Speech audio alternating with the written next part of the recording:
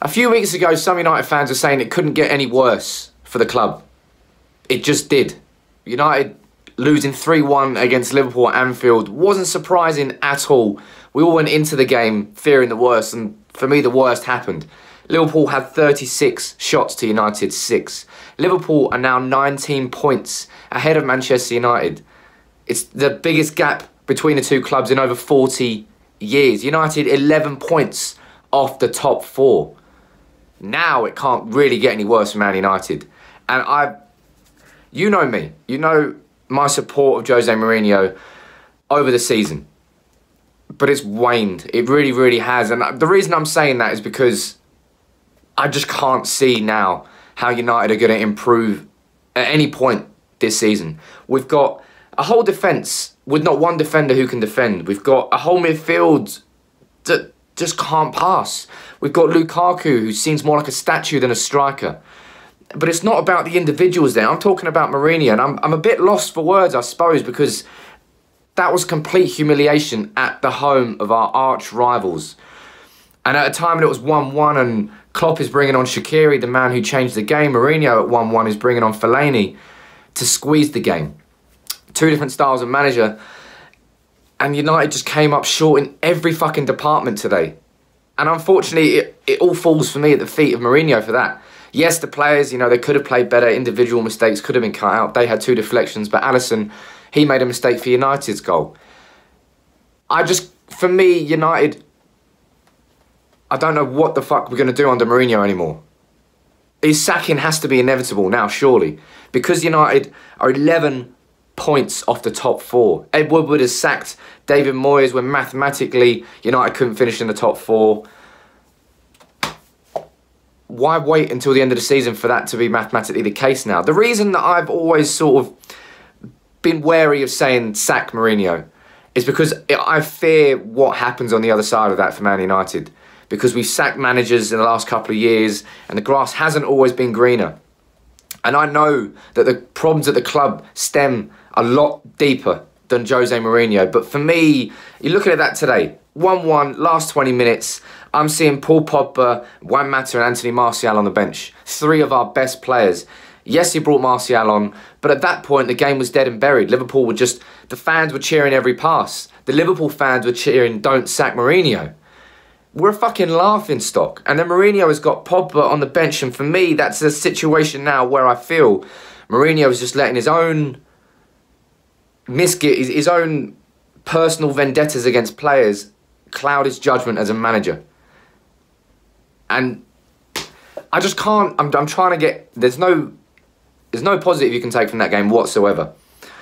And I've always tried to stay behind Mourinho because I don't want United to just keep sacking managers and keep coming in and hope that something's going to be better. But I can't, for the life of me, see anything here after that game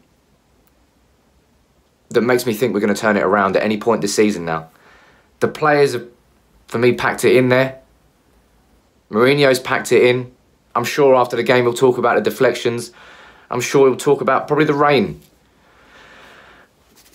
But it's left me kind of speechless because that was a complete and utter humiliation. 36 shots. Liverpool fans cheering every pass. That shouldn't happen against United. The intensity was there in the first 15 minutes. We saw it, well, the intensity of the whole game itself rather than Man United. And we shouldn't have gone in at half time 1 all, but we did. We are still in the game. But United just fucked it. We absolutely threw it away. And yes, Liverpool are, are, clearly a better team than us right now. And football is cyclical, and in a few years, I'm sure we'll be better than where we are now. We certainly can't get any worse. But I just now, at this point, can't really back Mourinho anymore. I've tried and I've tried and I've tried, and we've had improved performances in certain occasions, and I've agreed with some decisions he's made. But today, I can't stand behind Mourinho anymore. Not after that performance there. You know, uh, Ed Woodward in the stands, Sir Alex Ferguson in the stands, Sir Bobby Charlton in the stands, David Gill in the stands, or David Gill, however you say his name. They're all watching that they're looking at a manager now that looks lost.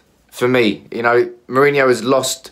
He lost so much support after Sevilla last year, and that game there today, that game, is where he's lost a hell of a lot more. I remember under David Moyes when we played Liverpool and City in a, in a space of a week and we got spanked, I think, 3 0 by both of them. And it was at that point where I was just like, you know what? It's not going to work under Moyes. And I think that game today, for me, is the point where I say, I don't think it's going to work under Jose Mourinho.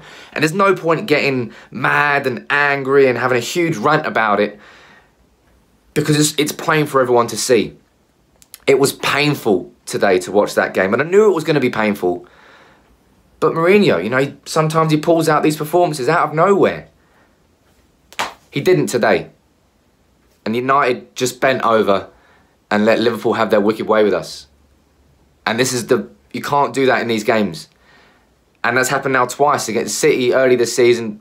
That was horrific. And Liverpool now equally as horrific. And as I've said, look, you know me and my support of Mourinho as the season has gone on. You know, it has waned a little bit here and there, but for me now, I just think United have to sack Mourinho. I don't know whether that means Kieran McKenna and Michael Carrick taking over an interim position between now and the end of the season.